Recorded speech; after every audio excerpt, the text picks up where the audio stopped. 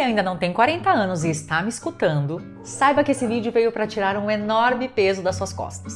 Lá pelos 20 anos ou até antes, a sexualidade é uma pressão em todos os aspectos especialmente quando se trata do desempenho sexual. Você se preocupa bem mais se o seu corpo segue ou não um padrão, se você tem ou não pegada, como fazer com que o seu corpo seja mais atraente. Você se preocupa com quantas pessoas você já saiu, em ter experiências inusitadas, em contar os seus feitos e exibi-los como um troféu. E em algumas vezes você também aceita ser refém da opinião alheia. Você também passa um tempo acreditando que sexo bom mesmo só vai ser com aquela pessoa mesmo que aquela pessoa não seja mais indicada para você. Deixa eu te contar que aos 40 anos, o desempenho sexual deixa de ser a coisa mais importante quando estamos falando de sexo. Você entende que aquele momento é muito mais que a junção de dois corpos. Você sente prazer em coisas e momentos que vão muito além do orgasmo. E descobre que só o orgasmo não é suficiente para continuar com alguém.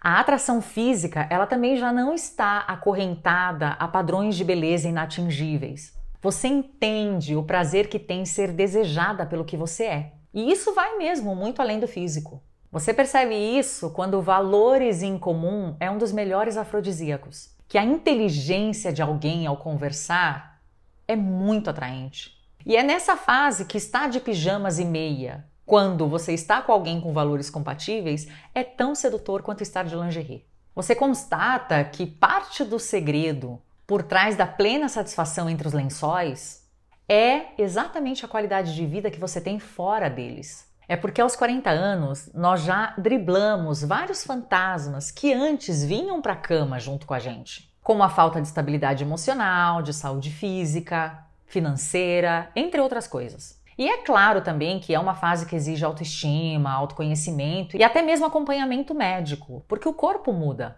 Mas o ponto G da reflexão é que o sexo depois dos 40 anos se baseia no que o outro é e não naquilo que você idealizou que ele fosse. É quando você entende que a beleza desse momento não é conduzida por hormônios, e sim pela cabeça que conquistou uma inteligência emocional.